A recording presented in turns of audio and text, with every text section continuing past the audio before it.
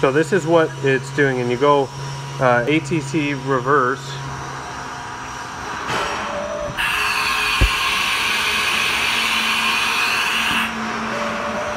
Okay, that's fine. Again, and you and it falls out right there. So I've taken the uh, carousel out and just cleaned everything. Uh, that didn't do anything. I've switched the relays around on the back. I've taken this out and I can hear both these switches clicking and it doesn't seem like there's something back there missing. Uh, but reliably, when you press ATC reverse, it'll do one tool change fine. Do another one.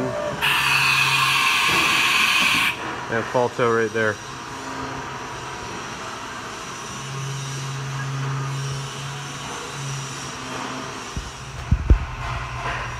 So in the back here with the power off, I labeled these one, two, one, two, three, four, and then changed it to, to three, four, one, two, and it didn't make a difference on how it was faulting out.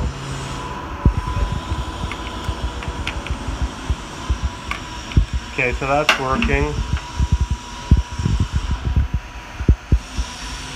That's working. We'll check the other.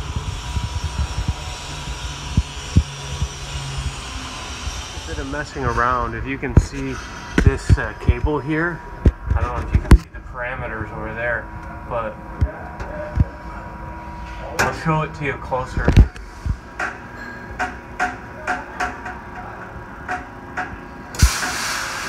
So that's just from wiggling the wire. You can see the, uh, right there.